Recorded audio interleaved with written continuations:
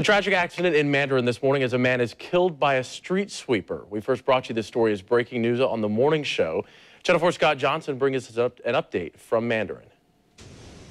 This happened right here off Loretto in San Jose in the parking lot behind the McDonald's here. Right here is where the street sweeper ran over a man. Police showed up here early this morning before most of the businesses were open in the Mandarin South Shopping Plaza, where the street sweeper ran over who police believe was the operator. They believe he was trying to remove something from under the vehicle.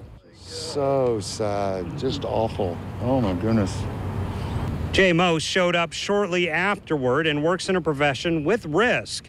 Seeing the scene hit him personally. I own a roofing company, and to see these kind of things happen, it's it's horrific.